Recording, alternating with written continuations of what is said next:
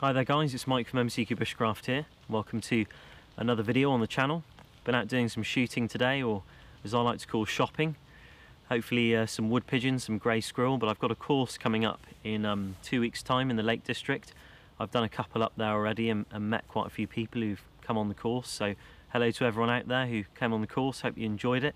On the course we do dressing of game, so what I get today and tomorrow um, I will be freezing and then taking up to the Lake District for the game dressing part of the course where we'll all cook and eat it in the evening as well. So hopefully some wood pigeon, maybe some grey squirrel. Sadly, pheasant is out of season. But uh, as the weather gets worse and winter's coming in, uh, we're, we're certainly into autumn now. I thought I wanted to get a gun just that's a bit more rough and ready for the field. The Fausti is getting a bit of a beating, a lot of scratches, a lot of dings, and I've refinished the stock about a year ago and um, I just fancied giving it a little bit of service, rebluing the barrels, getting it cleaned up. So I decided to uh, trade in my 410. I know it was a nice gun, but never used the thing, and decided to get myself a bit more of a rough and ready 12 bore for the field. But this is the gun here. Um, I believe it's imported by Zabala Hermanos, so it's a Spanish gun, and it's effectively a goose gun. It's got very long barrels, 32 inch barrels, Got a three quarter choke on the right and a full choke on the left. Double trigger, automatic safety, no ejectors. The barrel is proofed for quite a high pressure actually, given it can take three inch magnums. With long barrels and tight chokes and the markings that states it's proofed for steel shot. So it's ideal really by the coastline and um, there is a lot of wildfowl down there and obviously within season you can take them but you want to be using steels really um, and my Fausti can't do that. There is a special kind of cartridge you can get, stops the steel touching the edge of the barrel, but I've never been entirely comfortable with it. That's just probably ignorance, but uh, again, there were more reasons for buying this than just that. So quite happy with the gun, really looking forward to testing it out. Hopefully you'll join me in one of the outings tomorrow. I'm going to go out and gather some game for the course. But this video isn't going to be about the gun, it's going to be about the game bag I use when I go out hunting. Uh, I have a lot of questions about this game bag. Uh, rescued it and redesigned a little bit on it just to make it usable for hunting um, and for going out in the field, a bit like a satchel. Stay tuned if you're interested.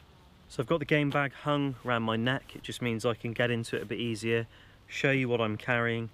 Uh, obviously I'd wear it normally like a satchel, like you see me wearing it on all my other hunting videos when I'm out with the bag, but like this, obviously it's easy for me to show you guys. So the origin of the bag, which is the main question I get, uh, what game bag do you use and where can I get it? And sadly, I don't have an answer for you. This bag was recovered from a skip. A friend of mine was clearing out his mother's house. He had a skip of things outside. He said, do you have any use for a bag like this? And I said, yeah, I reckon so. So I went home, I had some elasticated cartridge holders. You can buy these online, they're very, very inexpensive from somewhere like eBay, you can even make them. It's just elastic and they do them for rifle rounds, for shotgun rounds, for all sorts of different kinds of ammunition. And they come in a five. I stitch them onto the lip of the game bag like this and it just means I have 10 shots hanging by my side that I can pop two fingers in like that, pull a couple of cartridges out, reload really fast and ditch the empties inside this outer pocket just here. And uh, it just makes for quite a, a fluid setup when you're out and you want to reload because once you fire a shot with a shotgun um, things get a little bit disturbed obviously because they're pretty loud but a lot of the time the common misconception is that everything runs away from you. Most of the time pigeons and various other things don't really know what's going on and when you fire the shot they get startled and confused. They fly around the general area sometimes re-landing back where you've shot and if you reload fast enough it just gives you the chance to wait for any strays that are coming in or have been stirred up by the shot. The bag as far as I can tell, I did some research online, hours and hours of googling trying to find this bag which is near enough impossible. But um, there is an RGW uh, sticker or, or, sorry a label on the side there. So RGW is is the brand of the bag. I mean maybe if you type that in Google you'll have more luck than I do so uh, good luck to you but your best bet is just getting something like a replica Maxpedition Versipack or Fat Boy, you know, the kind of bags they have. I used to have one myself, they're quite expensive, but there are lots of replicas out there. Maybe you could pick one up for £30 or more and uh, get yourself something similar and just stitch some of these on if you want to customize it. It's really simple to do. I customize almost all my gear like the main pack I use. You just make things more usable for yourself when you're out doing whatever you're doing. So the knife I use when I bring this game bag out is this one here. This is my neck knife from Lee from LB Customs. Covered it in the last video. Just a necker that I take out with me, more of a companion knife to my main camp knife and uh, very useful for making a start on something before you use your hands if you're dressing game. Uh, the cartridges I use in these elasticated cartridge holders at the top, usually anything from 28 to 32 gram in 5 or 6 shot. Just really depends. I quite like 28 gram 6s out the Fausti. It's a bit of a lighter gun than the Goose gun behind me there. Uh, but uh, obviously 30 gram 6 is what I'm using today. Perfect really, I really get on well with that kind of cartridge. Um, so I have 10 of those across the top. I actually do have an SG just there as well. Um, but inside, these two pouches on the outside are normally just personal gear. In this mesh bit, I have a whistle. And um, whistles are pretty useful. Sometimes I'm out with someone and the whistle just helps me find out where they are. If we're in the woods and we get kind of mixed up or they go one way and I go the other. Got some lip balm Obviously when you spend a lot of time outside like I do, I'm out almost every day most of the time, especially at this time of year, you get pretty chapped lips, really windy, so that is kind of useful. Inside this pouch here, um, I have a torch. Uh, this is my LD22 from my main pack. Just take it out of my pack before I go and I pop it in there. And um, it's quite a useful torch. Sometimes it's useful for a bit of lamping here and there. But I've had that torch for such a long time now and I do have a head strap for it to turn it into a head torch so I can be hands-free if I need to. I often have my car keys in here as well, which you can hear. In this pouch here, mobile phone and some bags. Sometimes I dress game in the field, useful to have some bags like this just to put pigeon breasts in. That's normally what those little bags are for. Um, in the main compartment, I have this is my where I ditch uh, spent casings spent cartridges basically so when I unload the gun I chuck the used cartridges in here uh, but I have a sling for a side-by-side -side shotgun this is a slip-on sling so it goes over the barrels at one end and it goes over the stock just like that the other and nooses around the actual gun and it's pretty useful sometimes when you need a sling I don't always like carrying the gun around all day so a sling is pretty useful.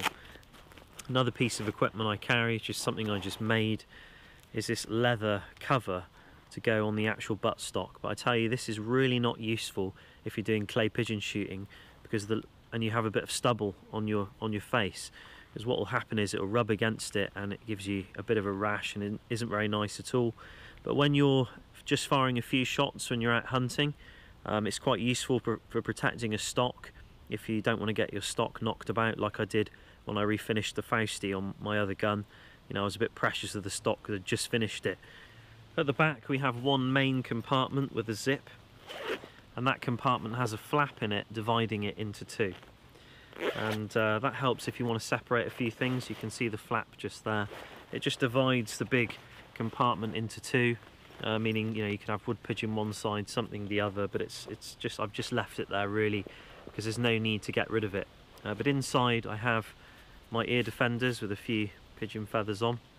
And uh, I've had tinnitus now in this ear here, probably going on about five or six years, just from using shotguns as a child and not putting my earplugs in properly uh, because I wanted to hear what was going on around me. And uh, that resulted in that ear getting pretty pretty damaged. It's okay now and I don't even notice it and uh, I had my hearing tested and I had perfect hearing despite having tinnitus. And when they found that out, they actually sent me in for an MRI scan because they thought, well, if you've got perfect hearing and you've got tinnitus, which is connected to hearing loss, then maybe something else is causing the problem, like a lump or a brain tumour or something like that.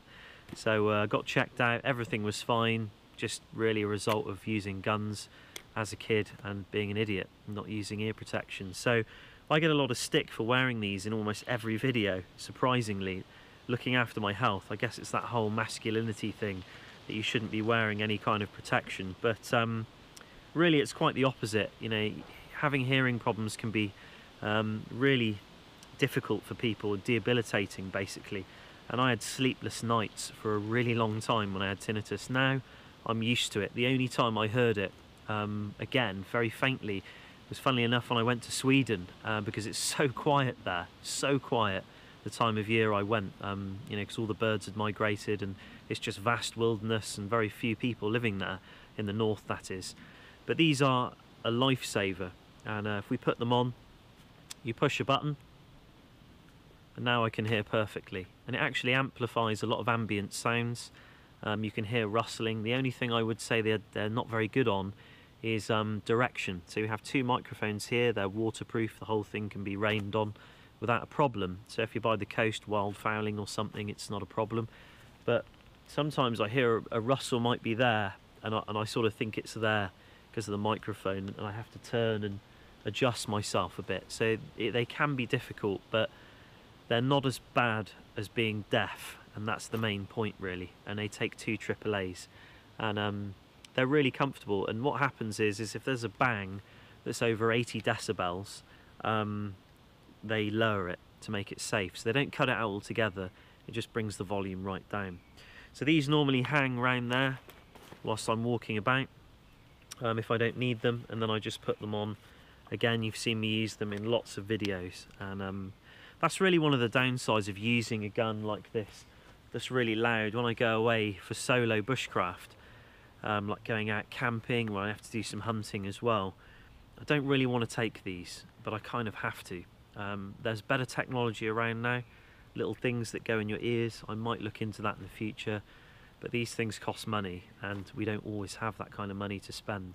If I had that kind of money to spend, I wouldn't have bought a 250 quid shotgun. But it does the job. Sometimes you just need a hammer to hammer a nail, and that's what it is really. So that's kind of the game bag. I know it's a bit of an anticlimax. You're thinking it would be some amazing game bag, but I might actually contact someone and try and get something like this made um, quite inexpensively. That's about as complex as it gets. You could say I need a med kit and things like that. I don't really carry anything like that when I'm out hunting. Maybe just a few bits in my cargo pocket, but that's really it. But thank you for watching, and I'll see you very soon in another video. Take care, guys.